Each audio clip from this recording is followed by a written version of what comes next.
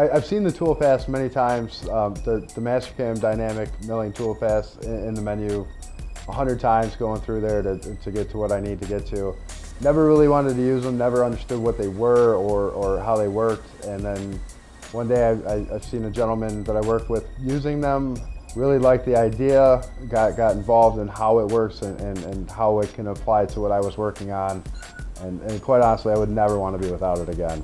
My name is Robert Fagelman and uh, I'm a CNC programmer and I work at Accede Mold Tool. When we first started using the dynamic milling tool paths, we we're going to try it on a, on a piece of hardened H13. Um, I think it was like 50 to 52 Rockwell.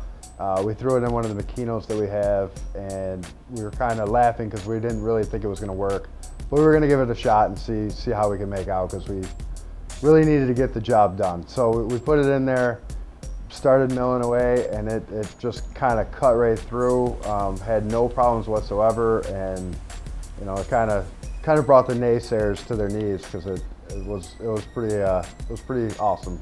The biggest benefit of dynamic motion is tool life and, and speed of cutting and the ease that the, the tool path puts on the machine. So for example, um, we had a frame plate that we had to do and it had a lot of pocket work in it and originally I was going to go with um, insert cutters. Um, I probably had six insert cutters in, in the program. And then I turned around and used the dynamic milling and I got it down to about two cutters and about half the time that it would have taken with the insert cutter. I, I should have been using these right from the beginning and I, I definitely would not want to be without them. It has changed my world and it makes all the difference.